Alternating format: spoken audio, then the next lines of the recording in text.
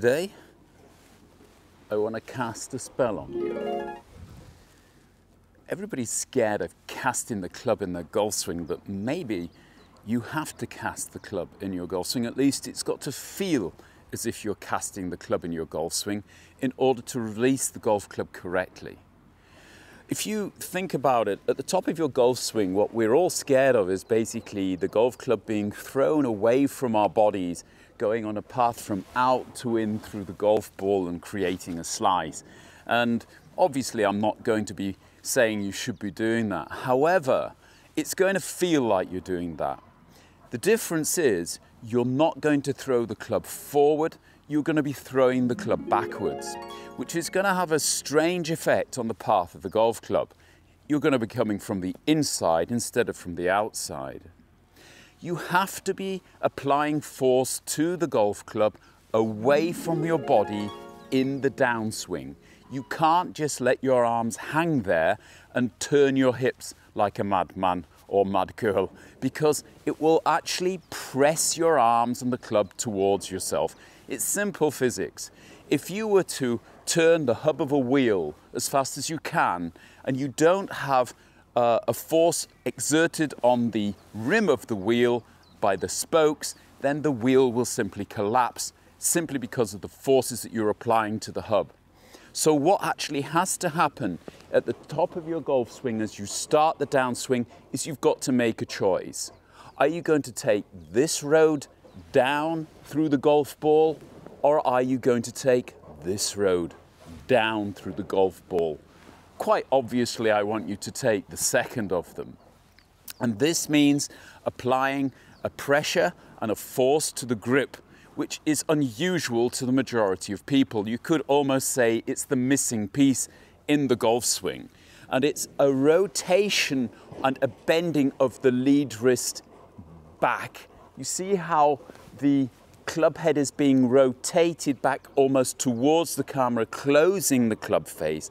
But at the same time, rather than allowing my trail hand to push the club outside the line, it is forcing the club to go backwards while the face rotates behind me.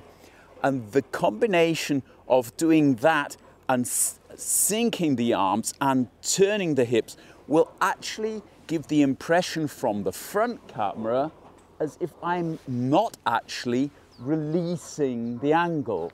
I'm not casting it if this camera is looking at it, but in my feeling, because I am losing this, what we call radial deviation here, it feels as if I am casting the club out there. The inertia of dropping the arms and turning the body, however, is creating an opposite force. So I will press out in this direction and the force is pressing back in. And that means that from the front camera, although my feeling is of pushing the club out, away, and back behind me, you aren't necessarily going to see that whatsoever. All you might be able to see is I seem to have a bit more width in the downswing. And this is, again, the problem with this golf game feel and real what you think you're doing and what you're actually doing. To start off with, this is going to have to be a conscious decision. You're going to have to train your wrists to do this because it's not what they'll do intuitively. Intuitively, accelerating the golf club means basically just doing that, just straightening the wrists along this kind of thumb line, and, and that will basically do exactly what you don't want to do. However, if you integrate this twist, this rotation, bowing of the lead wrist, you will get the shaft going back behind you.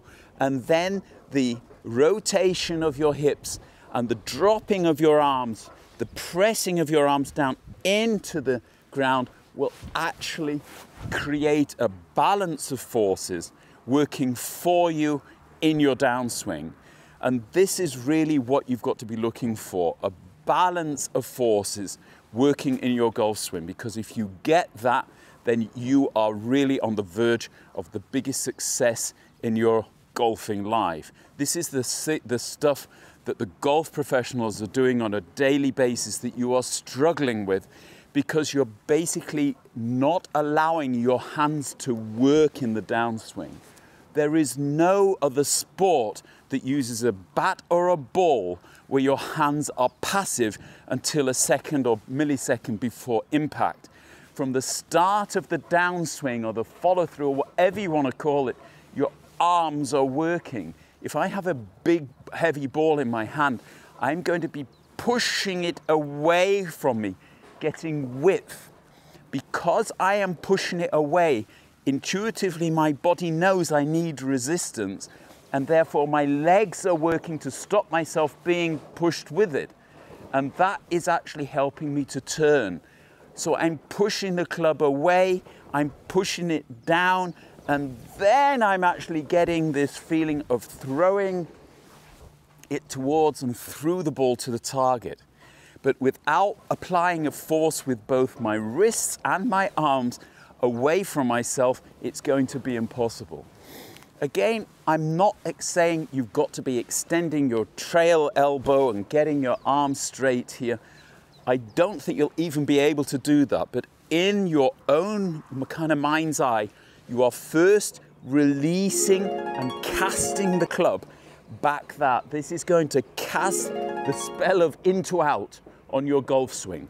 Then you're going to be pulling and pushing the hands down towards the ground, whilst at the same time allowing your body to rotate back into its starting position and beyond.